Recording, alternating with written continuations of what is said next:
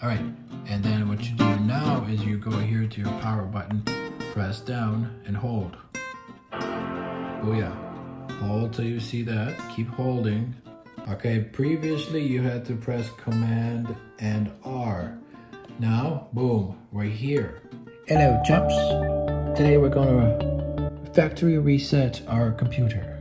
All right, so if you're trying to sell this computer, remember, you gotta go out here, and sign out of your iCloud. Okay, go here, click on your iCloud and sign out. Next thing you do, you go over here, you shut your computer down. And these M1 chips are amazing. These computers are great. Now this MacBook Pro um, M1 chip with the M1 chip, all you gotta do is click here, the power button, and hold it. That's it. Keep holding. Keep holding, lads. Come on. Oh, here we go. Boom. You're here. Okay, now don't click on that. Is click right here. Options. Continue. Quite simple.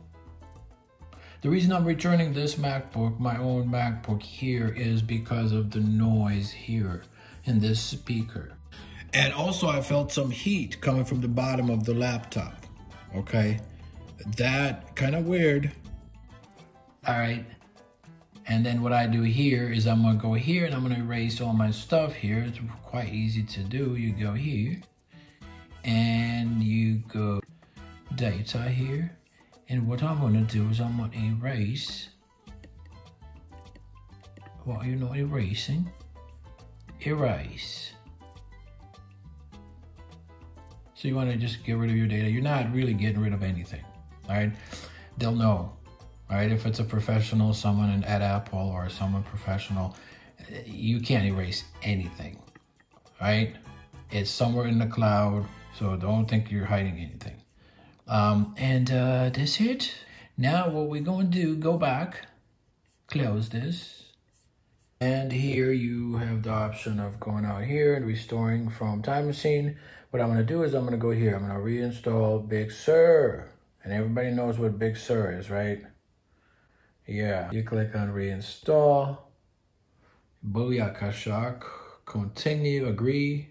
Signing my life away. But it's worth it. This pretty beautiful machine, it's worth it. I go here. All right. Pope. Pow. There you go.